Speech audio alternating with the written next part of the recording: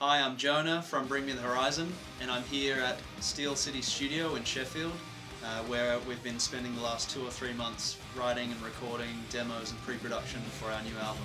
I'm here to talk to you a little bit about the Dynaudio DBM50 studio monitors. So these speakers are really awesome for what we've been doing here in the studio.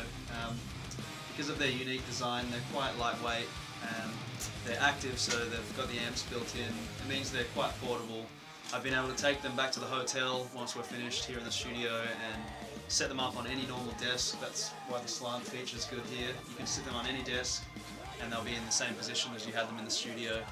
It just gives you a more accurate representation of your sounds. Um, I can I can work on music after hours in the hotel or even in the tour bus and then straight back in the studio. It's perfect. The audio quality of these is awesome. I mean, you've got quite good bassy range for your lower end guitars, bass, all that kind of stuff. And then the tweeters and the mid-range is really good for general guitar sounds. One thing that's really stuck out to me with these speakers is that the sound really translates well to other speakers. So if I'm mixing on these and then take take the song into my car, listen to it in a car stereo or a home stereo, or even just my headphones, it's a re- gives a really true representation of the sound.